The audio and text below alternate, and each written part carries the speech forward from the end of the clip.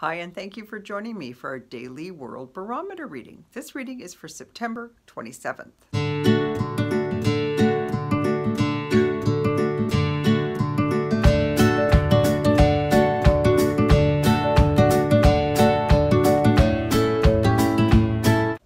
The Emperor reversed today, inefficient protection. So, a time when we are not paying attention around ourselves, about our surroundings, where we're forgetting to lock doors, where we're forgetting to um, be careful as we change lanes, all the things about, again, more of that hurry energy from yesterday, where we are still really not consciously living right at the present time.